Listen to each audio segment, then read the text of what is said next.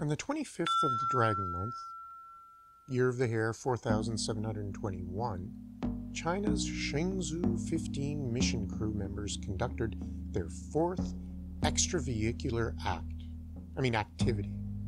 It's not an act, it's completing all scheduled tasks, according to the China Manned Space Agency, with a lovely flat horizon above us, hanging upside down.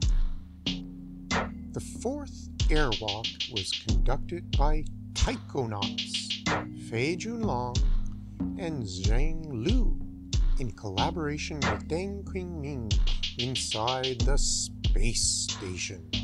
I got the wrong picture again.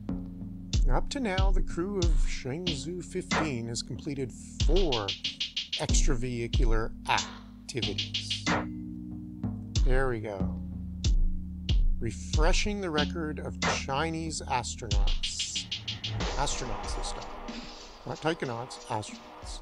Single crew extravehicular activity. They look like they're having fun there.